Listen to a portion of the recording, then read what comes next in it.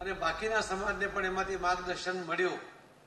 અને એના જ કારણે ખૂબ મોટી સંખ્યામાં સતત થતા રહે.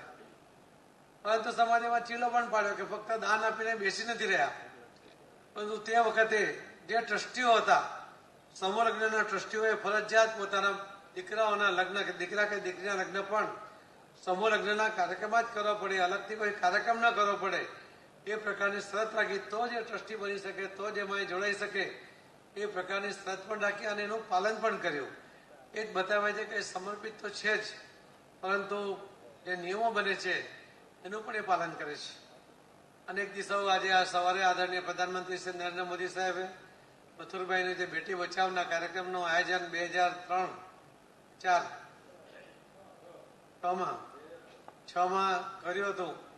આખા ગુજરાતની અંદર એમણે જે યાત્રા કાઢી હતી, એને આજે યાદ કરી બેટી બચાવની યાત્રાની જરૂરિયાત આજે પણ છે. હું તો આપને હજુ કહીશ કે ફરીથી હજુ લોકોની જનજાગૃતિ લાવવાની જરૂર છે. એ તો આપણે ધીમે ધીમે અસલામત સમાજ તરફ ધકેલાઈ રહ્યા છીએ. આપણે પુરુષ પ્રધાન દેશ કહીએ છીએ. અને એટલા જ માટે દીકરાનો જન્મ થાય દીકરીનો ન થાય એના પ્રયત્ન કરીએ. ગર્ભ પરીક્ષણ કરાવીએ અને દીકરી હોય તો એનો જન્મ થવા દેતા નથી.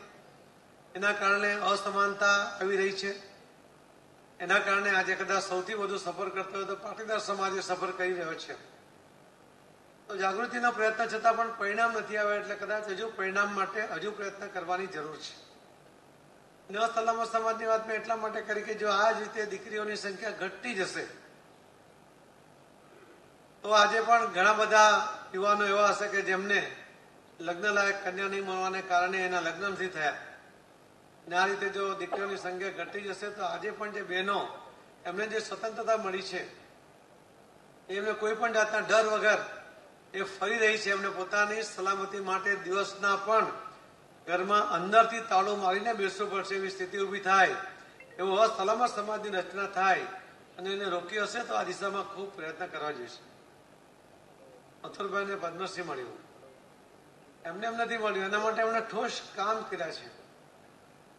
જલ યાત્રા શું નામ હતું જલ જલધારા જલધારાની જે શરૂઆત એમણે કરી અને એની અંદર હજારો લોકો જોડાતા હતા. એક ગામમાંથી જાય ત્યારે લોકો લેવા માટે એમને સામૂહિક કરતા તેમ લેવા આવતા હતા.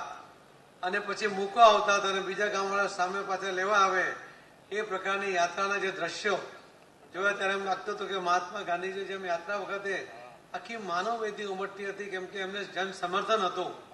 એમનો મુદ્દો જે હતો ને કે સ્વરાજ્ય મેળવવું છે. અને એટલા જ માટે લોકો એમની સાથે જોડાતા હતા. એ રીતે આ જલયાત્રાની અંદર પણ મથુરભાઈએ આ પ્રશ્ન ઉપાડ્યો, પરંતુ એની જે જરૂરિયાત સૌરાષ્ટ્રના ગામોમાં હતી અને એના કારણે લોકોએ એમને જે સમર્થન આપ્યું, પોતાની જમીનો આપી અને એ જમીનો કાપીને પણ એમણે સમર્પિત કરી કે આ પાણીની વ્યવસ્થા થતી હોય તો અમે અમારી પોતાની જમીન પણ આપી દેવા તૈયાર છીએ. અને એ રીતે ખૂબ મોટો પ્રયોગ એમાં થયો અને ખૂબ સફળતા પણ એમાં મળી. હમણાં કદાચ કામ ધીમું થયું છે. કેમ કે હવે ઘણા બધા નવા ડેમ પણ બંધાયા.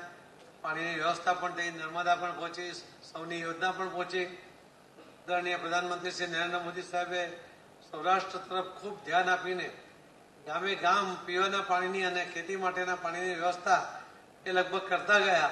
એટલા માટે કોઈક વાર જયારે અમરેલી કે સૌરાષ્ટ્રના પ્રવાસે જવાનું થાય છે ત્યારે ઉપરથી જોયું તો નીચે લીલુંછમ દેખાય છે, જ્યારે પેલા ક્યારે દેખાતું નહોતું. એટલે આવા કામો કરવાને કારણે જ એમને પદ્મશ્રી જેવો એવોર્ડ પણ મળ્યો.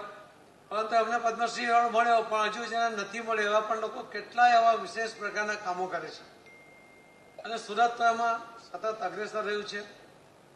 લોકોને જાગૃત કરવા માટે લાડુનું એક આયોજન થયું. લાડુની સાઈઝ શું હતી? અને એમાં કેટલા લોકો જોડાયા અને કેવી રીતે એમના ઘર સુધી આ પ્રસાદ પહોંચાડવામાં આવ્યો? એનો જો શિસ્તબદ્ધ રીતે જે આયોજન થયું, એ કદાચ સુરત જ કરી શકે અને પાટીદાર સમાજ જ કરી શકે, એ પણ આપણે જોયું છે ગરજીભાઈ તમે તો શિક્ષણ માટે હમણાં આવ્યા, પણ જયારે કિરણ હોસ્પિટલની વાત આવી ને, ત્યારે એમાં દાન લખાતા લખાતા વચ્ચે અટકાવી દેવા પડ્યા કે હવે જરૂર નથી. ચારસો કરોડ ભેગા થઈ ગયા. તમારા પાંચ હજાર કરોડ જોઈએ છે ને, કેટલા જોઈએ છે? બસ જ ને. સુરતમાંથી પાંચસો આપી દેશે. અહીંયા આજે અભિવાદન થયું છે ને, સીએમ સાહેબનું. આ વાત થઈ છે સાત બાર નહીં આ બધા સાત બાર વાળા જ છે. આ બધા તમારી પાસે આવશે કે જરા સીએમ સાહેબ પાસે લઈ જાઓ.